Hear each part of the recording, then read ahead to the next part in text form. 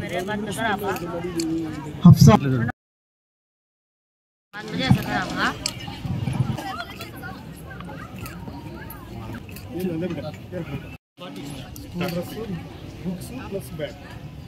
వాళ్ళు ఇక్కడ ఇంటర్మీడియట్ పెట్టించడానికి ప్రభుత్వం నుంచి చర్యలు తీసుకునే విధంగా నేను చాలా సంతోషంగా ఉంది.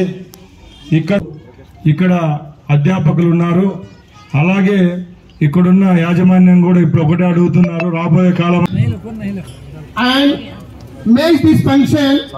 great success and కాకుండా నా వంతుగా నూటికి నూరు పార్లు ఇక్కడ ఇంటర్మీడియట్ పెట్టించడానికి ప్రభుత్వం నుంచి చర్యలు తీసుకునే విధంగా నేను ఒప్పిస్తానని తెలియజేసుకుంటున్నా. సెట్ అనుకోండి ఎంబీబీఎస్లు అనుకోండి ఇంజనీరింగ్ అన్ని సెక్టార్లలో వాళ్ళకు వస్తానంటే కేవలం ఆడబిడ్డల్లో గత ముప్పై నలభై సంవత్సరాల నుంచి ఎక్కువగా ప్రోత్సహిస్తున్నాం కాబట్టి వాళ్ళు ఈరోజు ఎక్కడికి పోయినా పది మంది డాక్టర్లు అయితే వాళ్ళలో సరి సమానంగా ఐదు మంది డాక్టర్లు ఆడబిడ్డలు ఉన్నారు.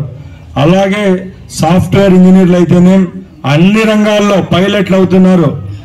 ఆర్మీకి పోతున్నారు. అంటే అర్థం చేసుకోవాలా అర్థం చేసుకోవాలి అందరూ. ఎక్కడ మగవానికో మగవానితో ఒక ఇంచు కూడా సమానం తక్కువ కాము మేమని నిరూపించుకుంటున్నారంటే ఎంత మార్పు వచ్చిందో అందరూ ఒకసారి గమనించాలా. అలాగే నేను ఒకటే చెప్తున్నా మన రాయచోటి నియోజకవర్గంలో చాలా మంది విద్యావేత్తలు ఉన్నారు ఇక్కడ కూర్చునే వాళ్ళు. ఏ ఊర్లో లేని విధంగా ఎప్పుడు గత తొంభై ఐదు రోజులైన మంత్రిగా ఏర్పాటయ్యి ప్రతి ఒక్క విషయంలో అధ్యాపకులను అయితే చేతులెత్తి దండం ఎత్తాలి పెట్టాలా? ఎక్కువ మంది ఈ యొక్క స్కూల్ డెవలప్ చేయాలా? ఈ స్కూళ్ళల్లో ఇది ఉర్దూ మీడియం తేవాలా?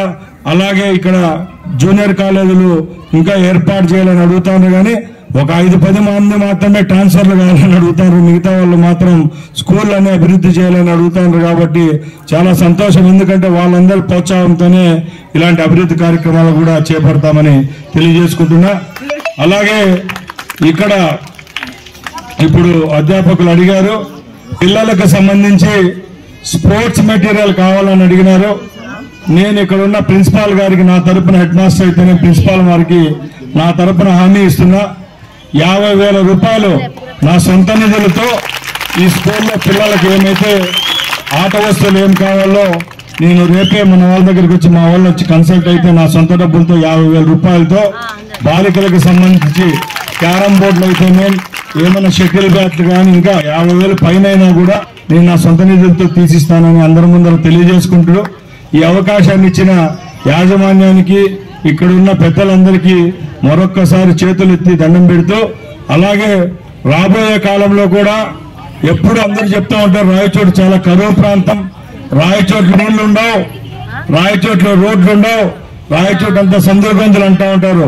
ఇవన్నీ ఉన్నా లేకపోయినా కూడా రాయచోట్ల మన బిడ్డలందరూ చదువులో నెంబర్ వన్ అని రుజువు చేస్తాను అది చాలా గర్వంగా ఉంటుంది. ఎందుకంటే చాలా రోజుల నుంచి చూస్తూ ఉంటాం ఎక్కడ విజయవాడ బోండ్ హైదరాబాద్ బోండ్ శ్రీ చైతన్య నారాయణ ఏ స్కూళ్ళలో చూసినా కూడా ర్యాంకులు ఎక్కువ వస్తాయి అంటే అది రాయచోటుకు వస్తానండి